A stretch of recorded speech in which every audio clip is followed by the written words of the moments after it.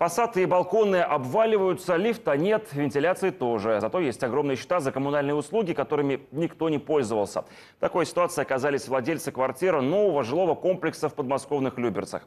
Застройщик сдал дом с недоделками, и жильцам приходится в судах отстаивать свои права. Максим Апарин с подробностями. Потихонечку, шаг за шагом, уверенным шагом мы поднимаемся. Уверенным шагом это, конечно, назвать сложно. Коляску с двухлетним сыном на шестой этаж Сергей вынужден буквально тащить волоком. Ему еще повезло, соседи по подъезду таким образом добираются до 12-го.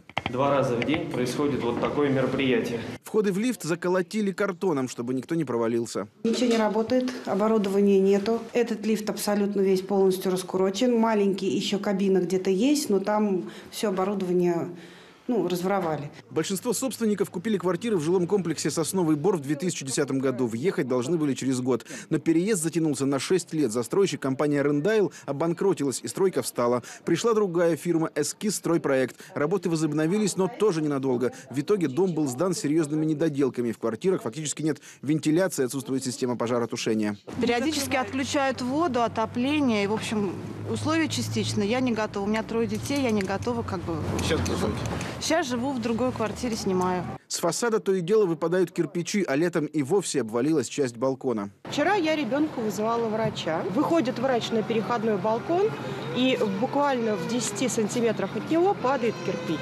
Люди, чтобы не подписывать акт приемки квартир, право на собственность получили через суд. Арбитражный суд э, э, принял э, нашу сторону и выносит решение в пользу обманутых дольщиков, э, присуждая э, нам наши квартиры. Но оформить собственность мы не могли, потому что дом не был поставлен застройщиком на кадастровый учет.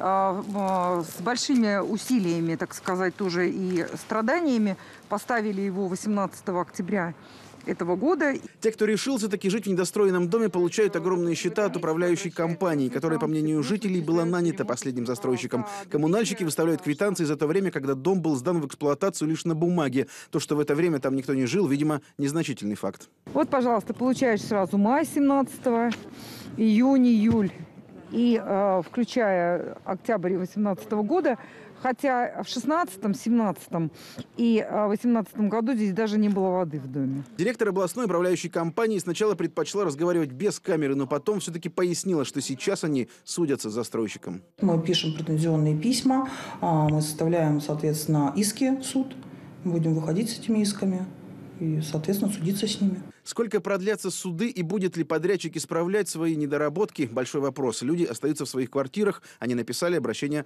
во все контролирующие органы. Максим Апарин, Борис Агапов, Стас Сверчков. Вести.